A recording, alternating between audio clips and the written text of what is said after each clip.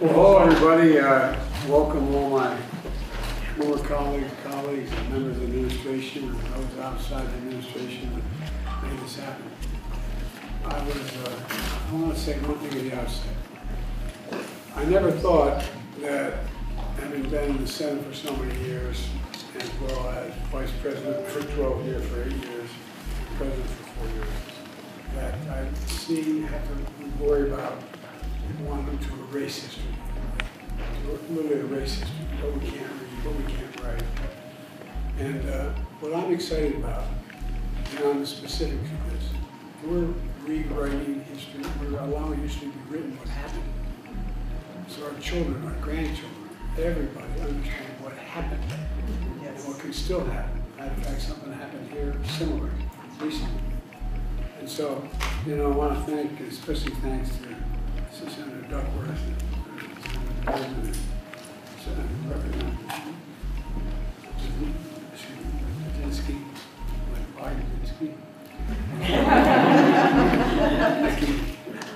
By the way, I, I moved from a Irish neighborhood in Scranton, when we were cold went down to Delaware.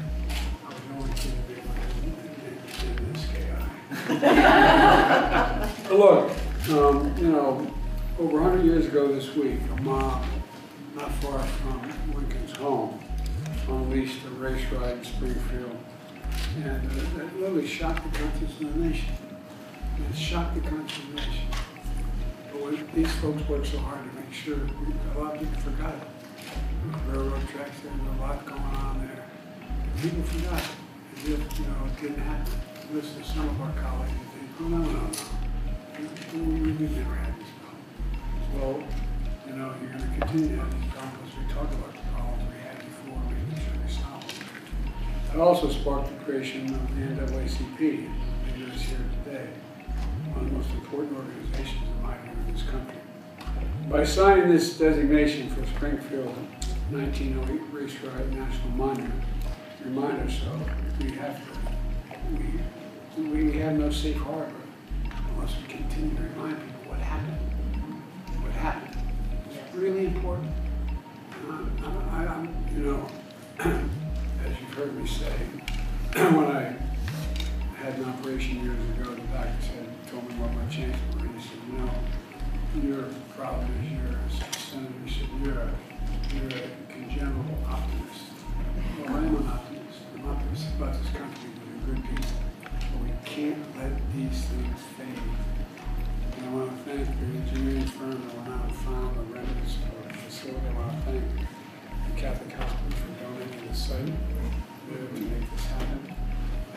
people behind.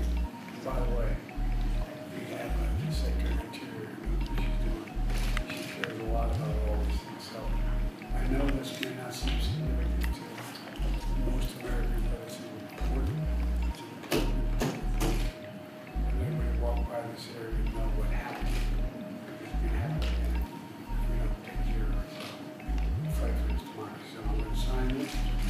And what I'm gonna do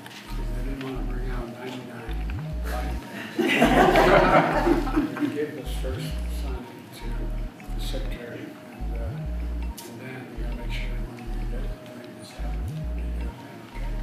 we do it, Okay. All right.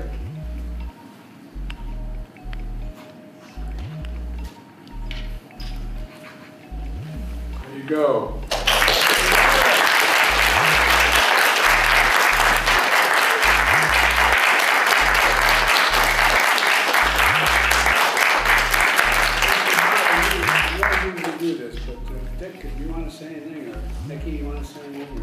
Know, seriously, you guys worked on, you started this in 2022, I. I, did, Mr. President. Actually, uh, we started it uh, even before then, but uh, we really gained steam and got it passed out of the Senate.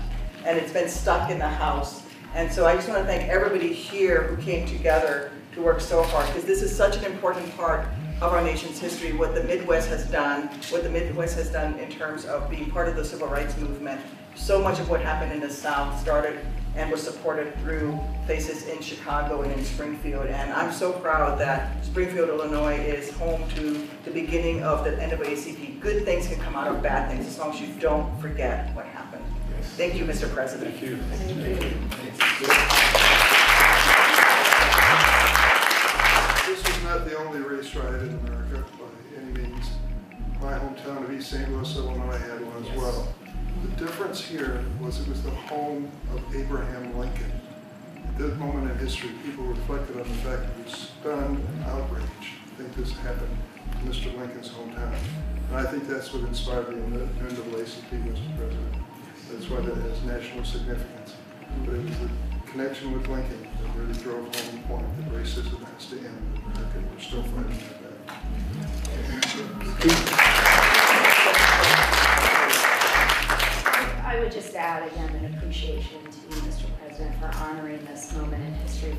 And this, just the unanimous support for the community. This is a happy day for us, but that we have so much more work to do in our community and the strive for equality and justice. We still have a lot of work to do.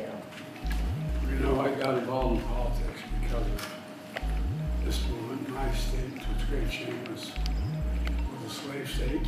And, uh, and uh, when I got elected, uh, I ran to begin to change the